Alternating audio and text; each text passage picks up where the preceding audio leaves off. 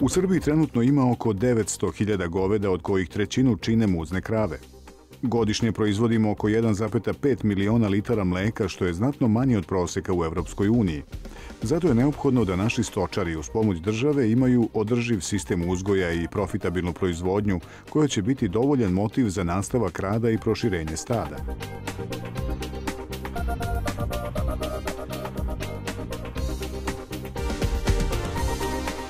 Ova emisija treba da ukaže na kritične tačke u proizvodnji, na moguće smanjenje troškova i na puteve razvoja mlečnog govedarstva.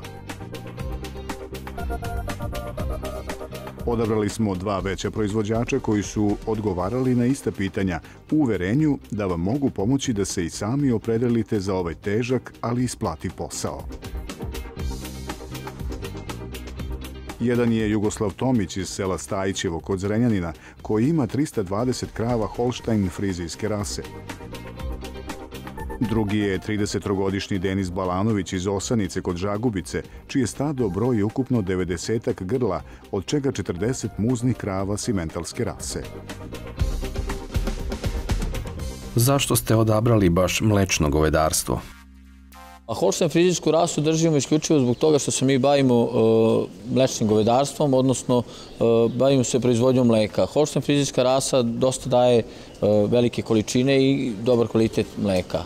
Tu je, postoji i simentalska rasa koja daje možda malo hemijski sastav bolji, ali dosta manju količinu mleka. Ja sam se školovao za pekara, nisam uopšte bio u ovoj priči. Ovaj, I šta znam, posle škole, da li da se zaposlim kao pekar, da li ovo ono, počelo tu već da se proširuje. Odlučio sam se da ipak ostanem u ovom poslu. Ne isplati se da se bavimo suvim ratarstvom, tako je zemlja. Nezgodne, njive su male, usitnjene, teško je da priđe i mehanizacija i sve. Nije zemlje sedme, šeste, sedme klase, ne može to da da neki prinos, bez obzira i na stajnjak i na džubrenje, agrotehniku punu. I onda je to lakši način da to te pri, taj prinos sa tih njiva kroz krave, kroz mleko naplatimo i da to od toga živimo. Kada ste počeli sa masovnijom proizvodnjom mleka? Farma je e, krenuta da se radi 2004. godine u avgustu mesecu, dok je 2005. u decembru mesecu poteklo prvo mleko sa ove farme, znači bila je završena, useljiva i počela je proizvodnja. Sada trenutno imamo oko 320 grla raznih kategorija, što muznih krava, što steonih junica, junica za osemenjavanje i malih pripodnih junica. Znači, do šest meseci teladi i tako. Isključivo se ženska tela dostavljaju na farmi, to ne prodajemo, mušku telad prodajemo, ali ne bavimo se tovom. Znači, samo žensku telad e, i dalje stavljamo u proizvodnju i znači, odgajamo svoju žensku telad i stvaramo od njih da budu mlečna grla. Tamo, 2005. 2006. je to počelo aktivno da se znači, proširuje. 2009. je podignuta ova štala, grla su useljena u ne baš završen objekat, znači onda je tu tako išlo jedno za drugim. Nešto se dodavalo u hodu, nešto ovo ono, ali uglavnom najmasovnija, da tako kažem, da je litraža prešla preko 500 litara dne, za dnevno, znači otprilike od 2009. polovno. Koliki je štalski prosek?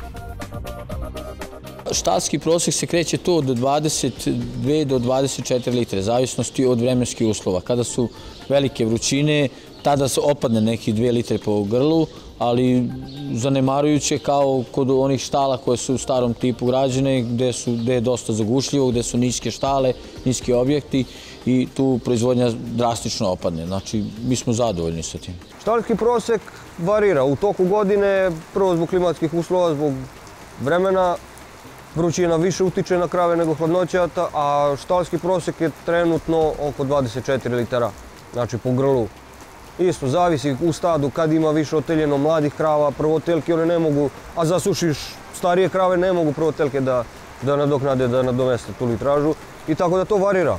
Znači, ali neki, ajde, na godišnjem nivou da, je, da kažemo da je štalski prosek neki 22-3 litra. Zašto ste se opredelili za slobodan uzgoj krava? Kada smo teli da gradimo štalu, odnosno farmu, objekat, e, tada smo bili u saradnji sa Imlekom, i dugi niz godina smo radili sa Imlekom, tada je profesor Radivojević po našim nekim željama i standardima koji su se zahtevali došli smo do ideje da napravimo objekat za 100 muznih grla, gde je u slobodnom sistemu držanje, znači to se zove neko humano držanje, humani odgoj mlečnog govedarstva i ja sam zadovoljan s tim. Bolje je zbog toga što faktički ovde dva samo porodica može da radi i da, znači, evo mi sad radimo porodično, imamo 320 grla, rekao sam. Znači, možemo sami da uradimo, faktički kad imamo radnika dobro je, kad nemamo opet izdržimo sami. Znači, lakše se izđubrava, e, lakše se hrani, hrani se miks prikolicom, izđubrava se sa telehenderom ili sa traktorom, tako da dete jedno od 10 godina može da uradi za nuždu. Pratili smo gleda, da objekat zadovolji neke, neke evropske standarde koji zahtevaju da opet je to za dobrobit životinja. On je treba prostor da se kreće. Najbolje kad je na polju, na kiši, na suncu, ona se skloni. Kad je vrućina u hladovinu, kad je hladno, izađe na sunce i tako. A treba da prođe određenu metražu dnevno, da ne kažem kilometražu. 400 metara mora da prođe krava dnevno i treba i prostor da se kreće. Na vezu jeste litraža veća, mlečnost veća, ali je opet e, ima vuče druge probleme, ovde je malo manja mlečnost nego što bi bila da je na vezu, ali opet ima druge prednosti, lakše vidiš kravu kad traži, jednostavno zdravije su, ima dobro, problema sa papcima, malo zbog tvrde podloge da imaju ispust na zemlju da izađu druga, drugačije bivelo. Ali to se održava redovno, znači papci se obrađuju i imaju svoje prednosti i svoje mane. Da li uspevate da obezbedite dovoljno hrane za krave sa svog zemljišta? Pa imamo oko 67 hektara svoje zemlje i proizvodim hranu, nemam dovoljno zemlje za ovaj broj e, grla, ali dobijamo znači, e, državnu zemlju po pravu prečeg, znači lokalne samouprave, konkurišemo, dobijemo državnu zemlju i proizvodimo sami hranu. Mi imamo uslova i za pašnjake, mi smo sad na površini od 14,5 hektara gde je zemlja u našem vlasništvu i tu je farma smeštena, koristimo pašnjak, kupimo na licitaciji, znači oko 70 hektara pašnjaka kupimo, tu samo ispasaju krave koje su zasušene i junice koje su u priplodu. Znači krave koje su muži, te su uvek borave u štali. Sa svog zemljišta ne uspevamo, sa svog zemljišta skidamo silažu. Imamo nešto, smo zasnovali lucerke, ali je opet to na našem zemljištu zato što smo uzeli u zakup druge njive na kojima, sa koji skidamo silažu, kukuruzu silažu i tako da, zbog plodoreda najviše, i tako će to da ide u krug, ali jedva se stiže. Dokupujemo lucerku, ne možemo da je proizvedemo kompletno sami, nema mesta, nema njiva, nema, ne može fizički da se postigne da se sve to obradi, opet kažem, usitnjene parcele, na više lokacija, nepravilnog oblika, nezgodne za, za veliku mehanizaciju, za ono i tako da mora da, da se snalazimo. da li se savjetujete sa stručnjacima o ishrani krava? Krave u, principu trudimo se da jedu 365 dana uvek isti obrok, znači nema tu nekog, neke drastične razlike što se tiče letnjeg i zimskog perioda, e, kada je objekat e, dosta provetljiv i kada nema velike oscilacije temperature, one uvek jedu jednu određenu količinu hrane. Uz, imam tu pomoć i ljudi koji su iz te struke, znači savjetujem se sa njima i tako. Da, savjetujemo se, uglavnom su to stručnjaci iz e, dobavljača, koji su dobavljači stočne hrane, a imam i druge, znači nezavisne, da ih nazovem stručnjake, mada su to ljudi iz drugih sfera koji znaju. Ili su veterinari ili tako, ono, koji znaju da, da, da me upute, ali najviše, najviše pomoći nam pružaju veterinari iz, eh, od proizvođača, znači koji su zaposleni koji proizvođača stočne hrane, dolaze, rade metaboličke profile kod krava, pa na osnovu toga preporuku daju. Kravama je neophodno obezbediti što povoljnije uslove uzgoja da bi održali dobro zdravstveno stanje. Kakva je situacija u vašem gazdinstvu?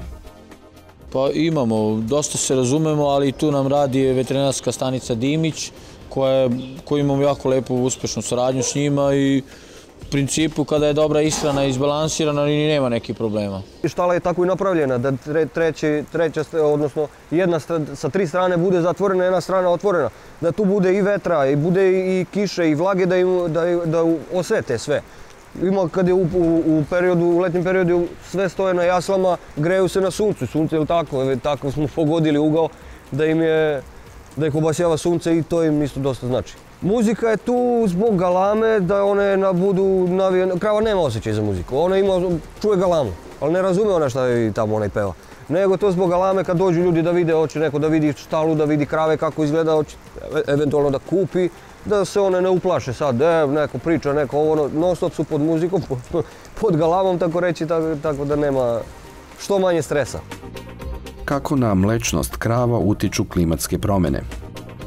Svaka godina je za sebe i trudimo se da sve više i više usavršavamo, e, da se grla, uze se semena e, dobrih bikova, da bi se znači, odgajale dobre junice, da budu dobre krave, da budu dobre ovaj, za proizvodnju mleka. To se svake godine poboljšava, znači trudimo se da idemo ka većoj litraži, mada po meni mislim da je neka proizvodnja do 30 litara jako rentabilna i manje podležna bolestima i za naše uslove mislim da je to neka granica koja je jako opravdana. Utiču klimatske promene, utiču na sve. Konkretno, da ponovno, znači rekao sam i malo pre da u letnjem periodu drastično padne i kvalitet mleka ili traža.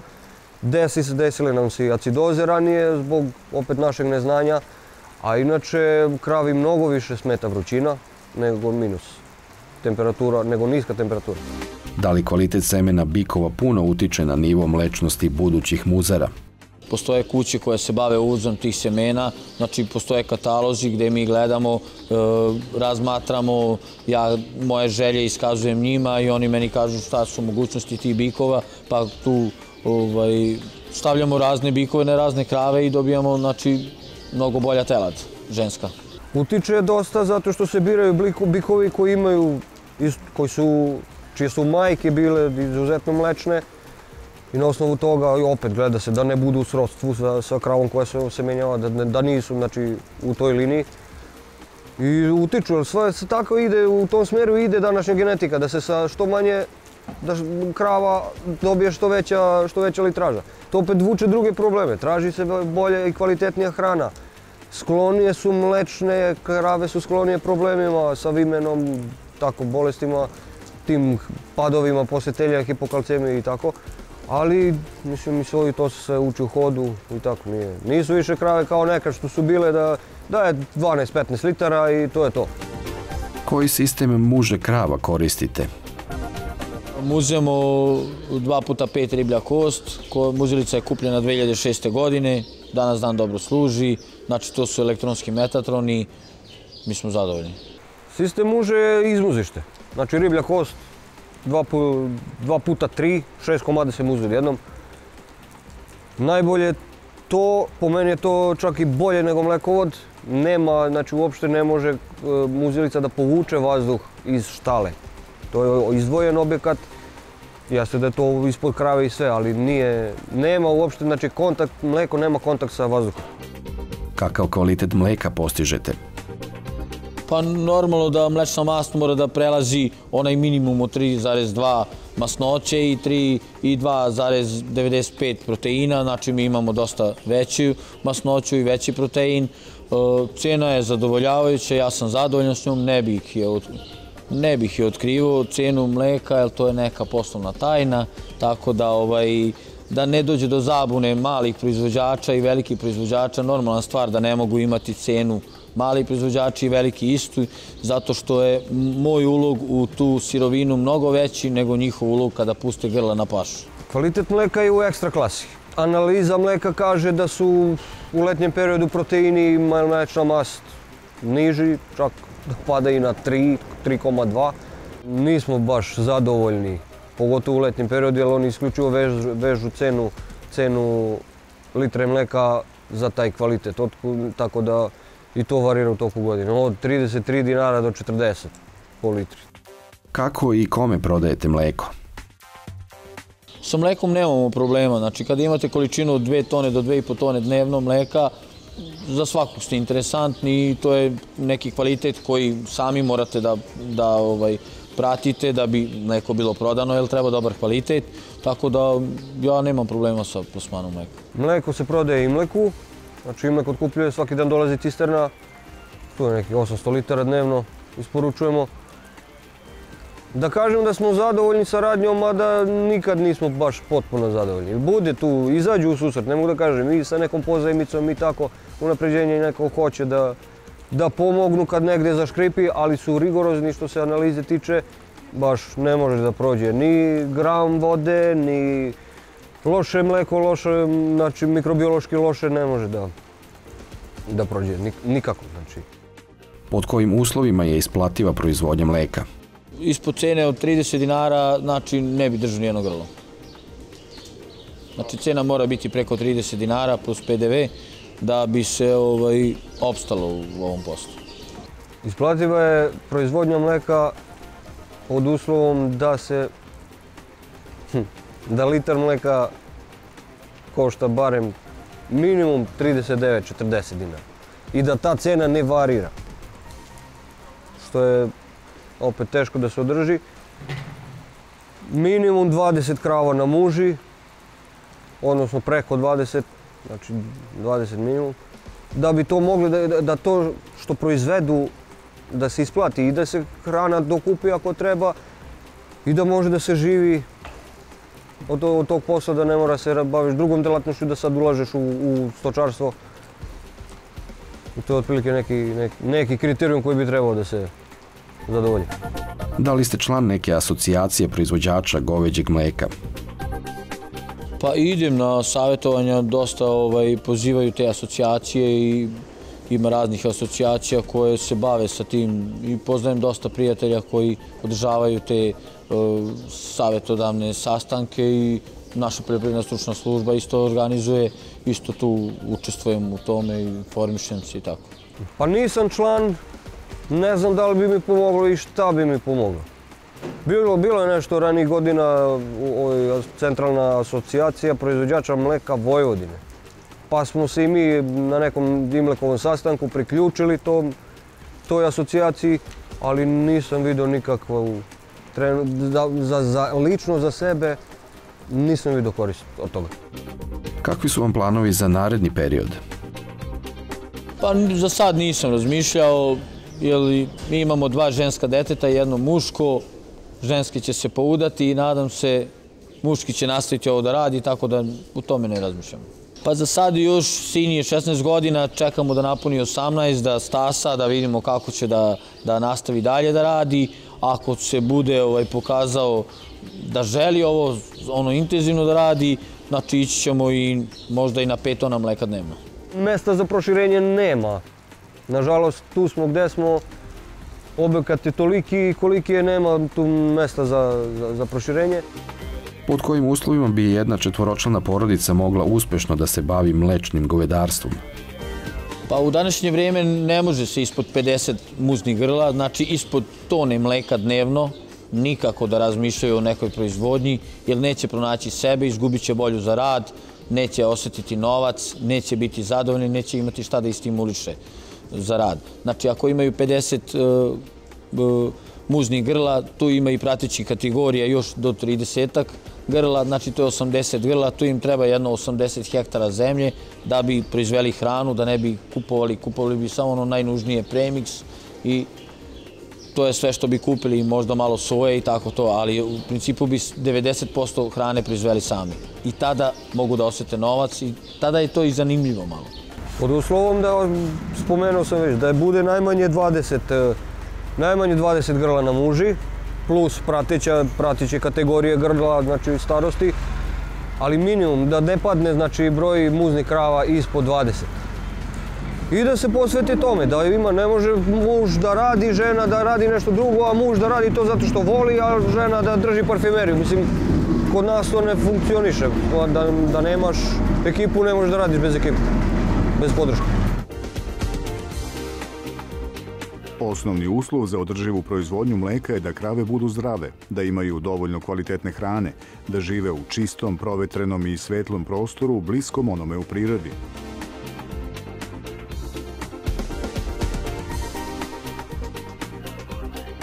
Nadamo se da vam iskustva ova dva proizvođača daju dovoljno motiva da se i vi uključite u posao mlečnog govedarstva, jer je ono isplativo, a mleko ima sve veću potražnju na domaćem i stranom tržištu.